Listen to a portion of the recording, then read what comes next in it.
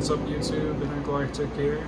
Um, today I'm doing a video of repairing my Super Racer by FLSUN. Um, as you can see right here, there's a heating error. Okay, so first step is to remove the silicon sock, which I already removed that. Now I'm going for the fan shrouds.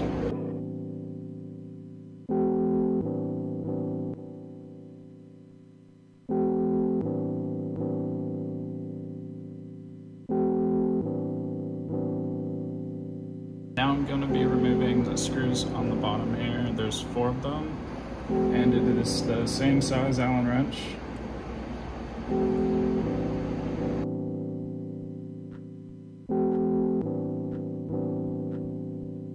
So the two closer together are what holds the hot ends together, and this one over here is holding the top housing.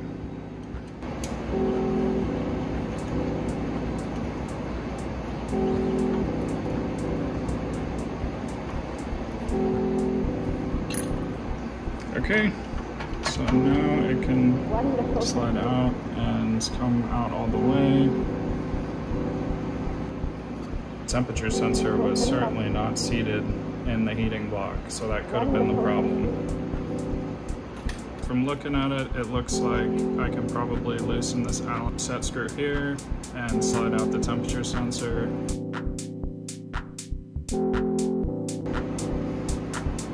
Okay, I took it all the way out. And just gonna push on the sensor from this side. Looks like it's fused with a bit of plastic there.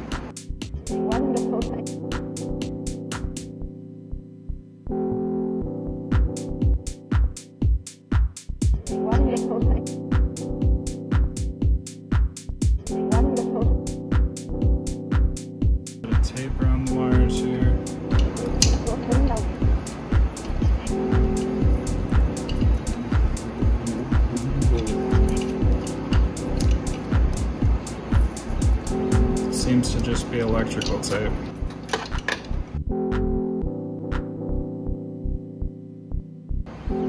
Okay guys, um, I just attempted to pull the old temperature sensor out of the tape so I wouldn't have to cut it because it looks like it's heat resistant tape. I'm just gonna cut it. Wonderful, thank you. Wonderful, thank you. Got the old sensor out. Sensor here. Fits on. Got the set screw.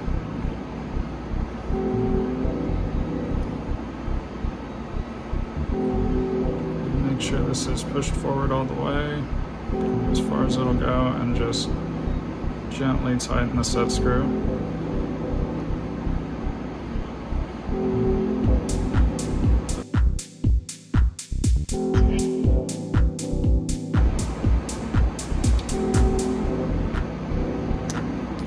Goes.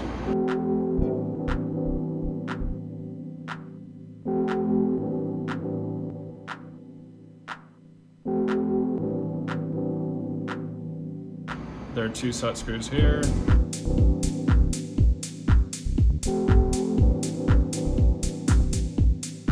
Wonderful, thank you. And now, the heating element slides right out.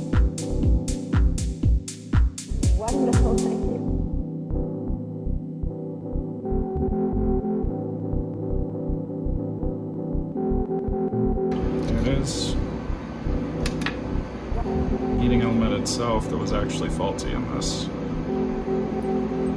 And I had just completed a print before it failed, which is interesting that it was perfectly functional and then it just just died. So I don't know.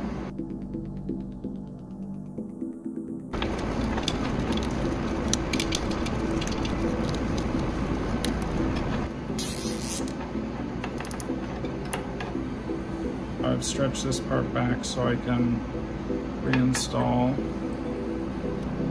this part here. Does this slip back out? So you only want this down about that far.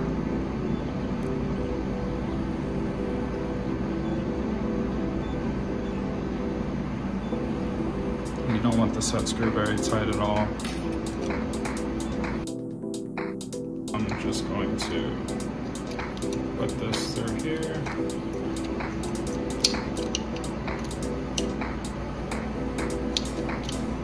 It's looking good. Feed the PTFE tube through as far as it'll go. A pair of needle nose and usually you want filament in the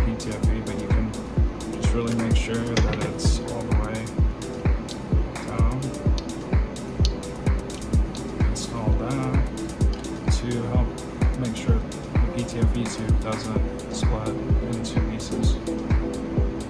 I'm going to install the second cable tie.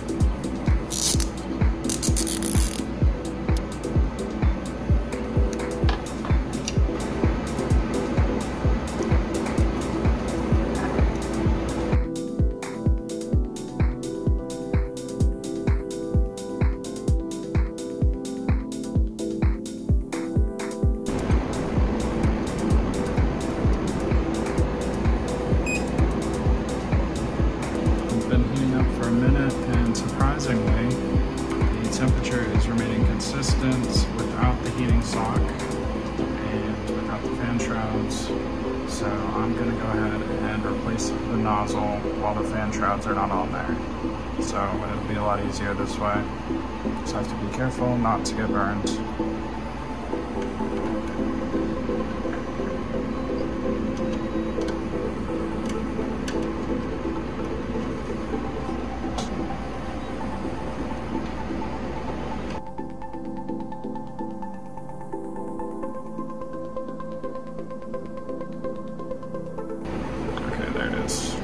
Install the new nozzle. Um, best way I've found to do this is to uh, actually thread the first part in by hand, so you have to be very careful not to get burned, but you also don't want to cross thread the nozzle.